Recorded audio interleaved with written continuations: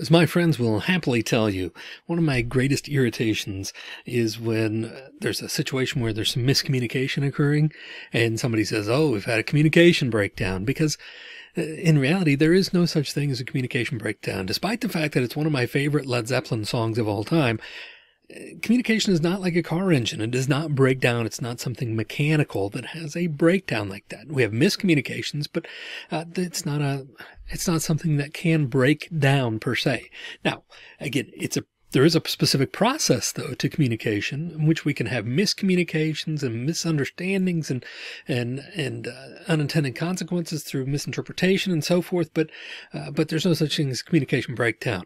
So I want to take a look today, though, at the process of communication, the process of communication, not the engine of communication, but the process of communication that takes place here. And so um, to do that, I want to take a look at the transactional model of communication. So this is the most contemporary, most recent model of communication that we utilize and really demonstrates the different elements of the communication process quite, uh, quite well here. So, so we start off with this cool guy, right? This cool guy, and uh, and he's just hanging out. He sees uh, though that his buddy over here is doing something equally cool, and he thinks to himself, he thinks to himself, uh, "Wow, that's so cool. That's so cool. I, I should tell him about how cool that is, right? I should tell him how cool it is." So he does. He says, cool beans, dude. Right? He lets him know that what he's doing, what he thinks what he's doing is cool. Right? And so there we have the beginning of the communication process. So this person is communicating something to another person, right? Uh, it could be to another person, could be to a group of people, could be to himself, but, um, but we have the, uh, the communication process starting here. So the first couple elements that we can recognize in this process are the first communicator, which we call communicator A, and then the other person is communicator B, right? We call that person communicator B, and we call them A and B. Uh, we used to call them sender and receiver, uh, but the truth is they're both sending and receiving at all times. So, um, so, so they're not really a sender and a receiver. They are both senders and receivers. So it's easier just to call them communicator A and communicator B to differentiate between uh, the two the two sides of the communication here. So, communicator A has something that he wants to communicate to communicator B right? And and the and what that is, the the content of what that person is trying to communicate, we call the message. The message is what that person is trying to communicate. What is the message? He's trying to communicate that, hey, you're doing something really cool over there. So he's this cool beans, dude. And so the message there is that cool beans, dude. It's what he's trying to, to communicate there. Now, he also has to communicate this somehow right? So we have the what of what's being communicated in the message, but the how comes through what we call the channel or channels. There could be more than one channel. So the channel could just be, you know, using your voice to say so. It could be that he called this person on the phone and said that. It could be that he texted him, left a post-it note, used smoke signals, whatever. Uh, the, the, however, or, or whatever ways that was communicated, uh, either way or ways that was communicated is what we call the channel, the method through which the message was sent. Okay? So we have this person, communicator A, uh, sending something to communicator B. That's the message, and they send it through the channel. Uh, and so far, so good, right? But we see that this is really only one way. But what if the other person, after hearing you know, cool beans did. They, they re- recognize that this person liked what they're doing. So they, they want to respond in some fashion, right? So, um, what we know in terms of the transactional model is that communication does not just flow one way, as is indicated here. It actually flows in two different directions. So if this person wanted to say, you know, after he hears cool beans, dude, he wanted to say, Hey, thanks, dude. And he does a little dab, right? Gives him a little dab in, in addition to that. Then we see that this communication really is operating in two different directions, not just one, right? So we have the message, which is the uh, the cool beans dude, but then we also have what we call the feedback. Right? Feedback could be verbal or nonverbal response from the other person or people or, whatever, but whatever way that's communicated in return is what we call feedback.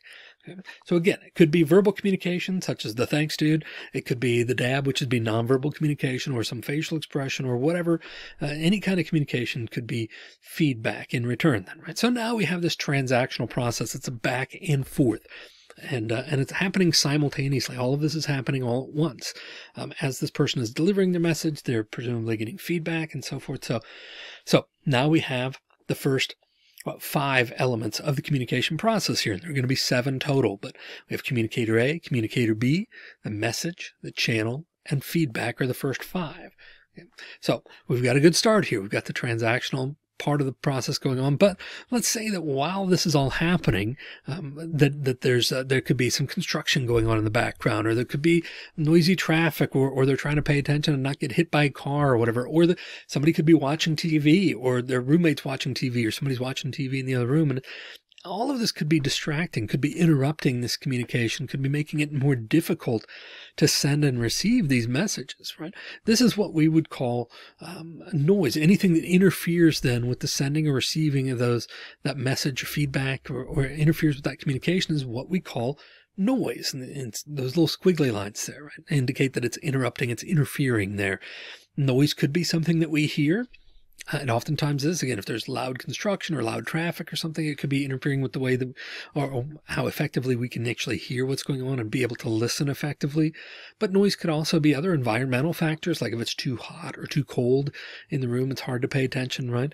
Or it could be internal things like you're hungry or you have a headache or you're just distracted. It could be something psychological, like just being distracted. You're, you're making your grocery list instead of really paying attention to what the other person is saying. So noise comes in lots of different shapes and sizes and formats. And, and uh, so, but a noise is anything that would interfere with the sending or receiving of that message or feedback, anything that interferes with the communication process, there would be noise. So now we've got that sixth element of noise. The last one that we're going to look at here is what we call context. And you can see context just kind of wraps around everything. It, it, it, encircles and encapsulates every part of the communication process because what we know is that communication does not happen in a vacuum, right? It happens somewhere, sometime, someplace with someone. And so there are a variety of different factors involved in the context. It could be things like the environment. Again, is it noisy? Is it hot? Is it cold? Is it, is it a library where you're supposed to be quiet? Uh, or, you know, what's the situation? What's the environment in which the communication is taking place? Uh, what's the relationship between those two people? Are they best friends? Are they total strangers? Is it a parent and a child? Is it, you know, somebody in a romantic relationship? Uh, so uh, those types of things uh, will affect what's being said and how it's being said. I mean, even just the difference between an acquaintance and your best friend you swap those people out and there's a totally different communication experience happening there based on the context of that relationship.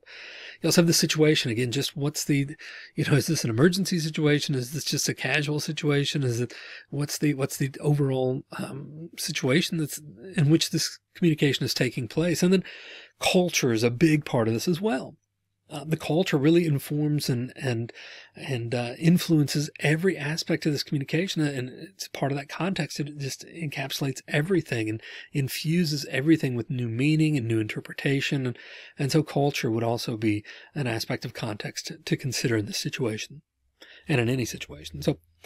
So there you have it. Those are the seven elements of the transactional model of communication. And really, no matter what kind of communication you're engaged in, whether it's interpersonal, meaning, you know, you and one other person, or if it's, you know, a public speaking situation where it's you and then a group of people on the other side, or whether you are both people, you're communicator A and communicator B, you're talking to yourself in that situation.